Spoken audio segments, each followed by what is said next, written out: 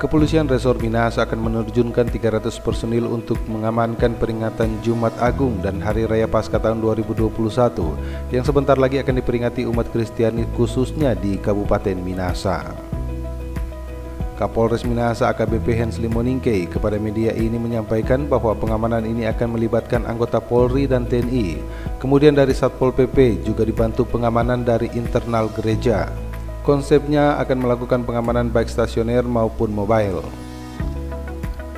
Kapolres menyampaikan kepada masyarakat untuk tidak usah ragu-ragu dan takut akan situasi saat ini karena Polri dan TNI menjamin keamanan.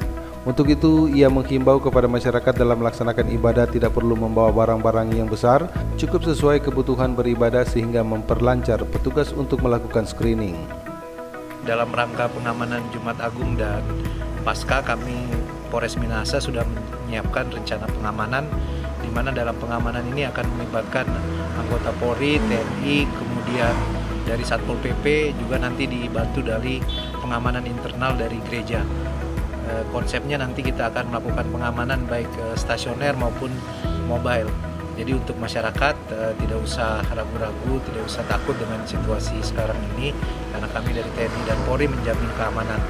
Untuk itu kami juga menghimbau kepada masyarakat dalam melaksanakan ibadah uh, tidak perlu membawa barang tas barang-barang yang besar uh, cukup mungkin yang kebutuhan sesuai dengan ke ibadah sehingga memperlancar nanti pada saat uh, screening oleh petugas kepolisian maupun oleh pengamanan internal. Terkait penempatan kendaraan, Kapolres menyampaikan tentu ini akan dikoordinasikan dengan pihak pengamanan internal. Dalam hal ini banyak dilakukan oleh Panji Yosua yang dikoordinir oleh gereja. Kepada masyarakat juga diharapkan dalam melaksanakan ibadah agar tetap mengikuti protokol kesehatan karena saat ini masih dalam situasi pandemi COVID-19. Berkaitan dengan penempatan kendaraan, tentu ini nanti akan dikomunikasikan dengan pengamanan internal dalam hal ini banyak dilakukan oleh Panji Yosua yang dikoordinir oleh gereja.